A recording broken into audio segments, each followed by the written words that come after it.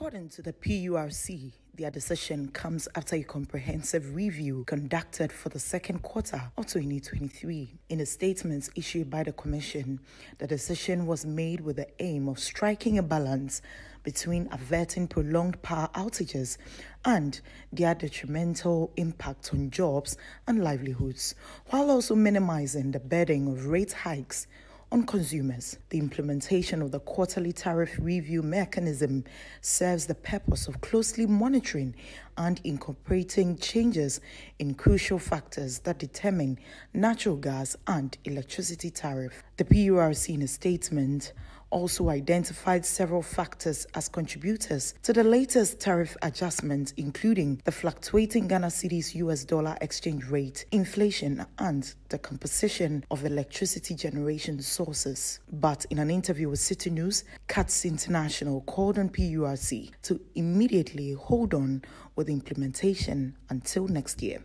They explained their reasons. If you look at it, last end of last year, we had a major tariff review and then first February this year another tariff review came. And I think the rate at which the PURC is adjust, adjusting the tariff upwards is not the best of consumers and also businesses. Because when businesses make their projections for the year they make they don't anticipate that tariffs will be jumping like this rocket uh, jump And the reason that the PRC gave is that the cedi has depreciated and the gas. Uh, we should suspend it at least for one month to see how the dollar, the cedi will be, and also how the gas prices will be.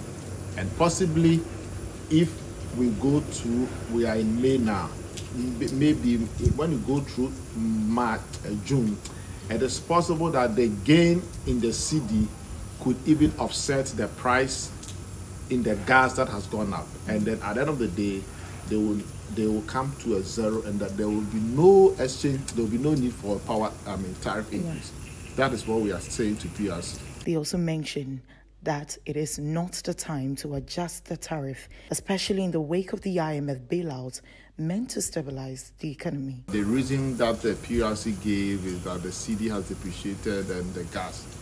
But you know, uh, PURC knew very well that IMFD was going to go through. And with the IMFD coming through, the adversities, of, the adversities and the miseries even the cedi suffered last year would start turning around to see a better and a new Ghana cedi.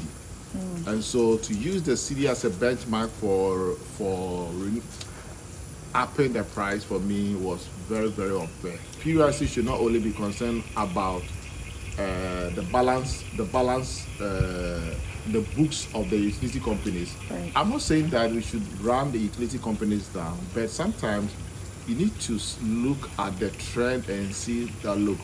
Let us wait and see how the cedi and how the economy turns, so that we can decide to let this second quarter go on without any increment, and then if the variables changes then we can do so.